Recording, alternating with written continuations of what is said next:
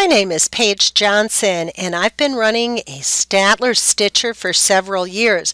I do it every day and I love it. Today, I'd like to share a couple of my tips with you.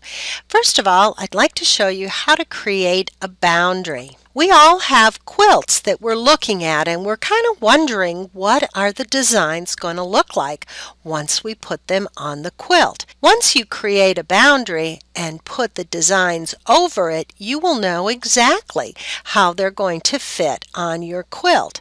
It's actually a good idea to try this before you start to stitch.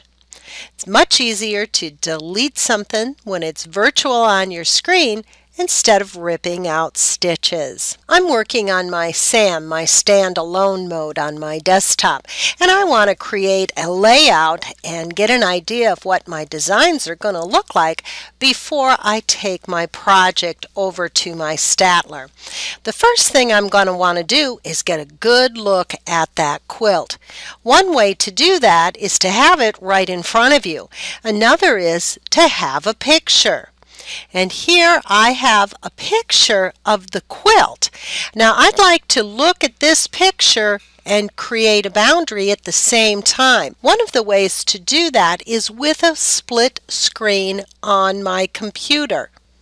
I want to be able to go back and forth with looking at my picture and working on my CAD screen. I'm going to go into where I keep my pictures and I'm going to find the picture I want if I right click on it, I can open it up with Windows Photo Viewer. And that is going to give me this view of my picture. I can take this screen and minimize it down so that it is a smaller screen. Now I can go back to my Creative Studio. Every time I want to look at my picture, I can click on it on the bottom bar here. I can move my picture in and out of my screen so that I always know what my next step is going to be. What I ultimately want is a boundary that is going to represent the piecing of this quilt. So if I measure my block and I can see that this inside here is six inches and each one of these triangles is a two inch piece along the flat edge that gives me a place to start. I'm going to start by changing my grid size to 6 inches to represent that inside block. I'm then going to start drawing some lines and I'm going to start with a point-to-point -point line.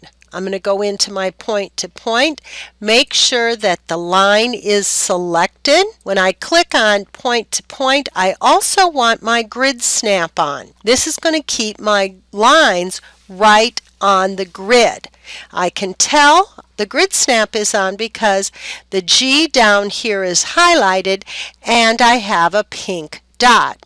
So I'm going to create that first spacing here by clicking on the grid.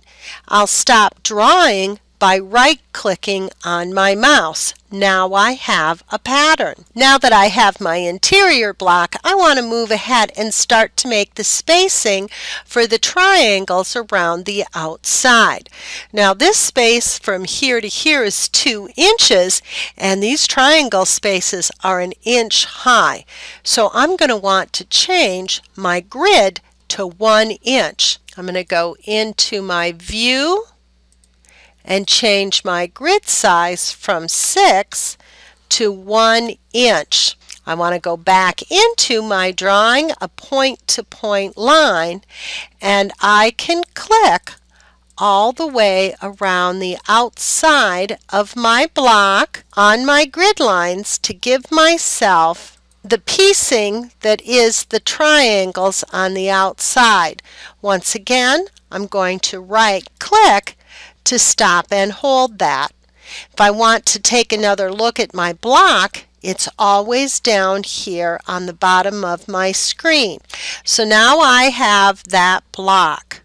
Looks like I'm going to need a line going around the outside here as well. So let's put in one more line, and that's going to give me this center block right through here.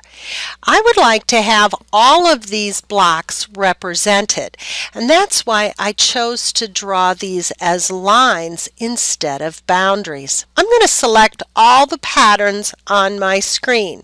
With all of those patterns selected I can right click and combine them into a group. Now with one pattern I can go in and do a circle array. I want three copies. I'm going to place the center of my circle array on one of the grid corners. Now what this has done is now given me four of the same block. Now if I select all those patterns once again and circle array, placing that center at one of the corners, I now have 16 blocks and this is a better representation of what my quilt looks like.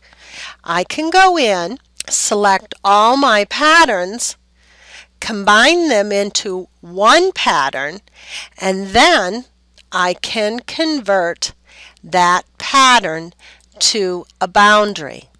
Now I can start to move my designs over it and I'll have a good idea of what my finished project's going to look like. I can take a point-to-point -point pattern and start to play with spacing and figure out how I'm ultimately going to quilt this quilt once it's on my machine.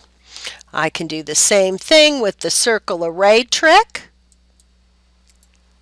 Even though I know this won't quilt like this, I get a really good idea of what it's going to look like when I'm done. You can find out more about my tips and tricks and additional videos by visiting my website at www.thequiltingpage.com.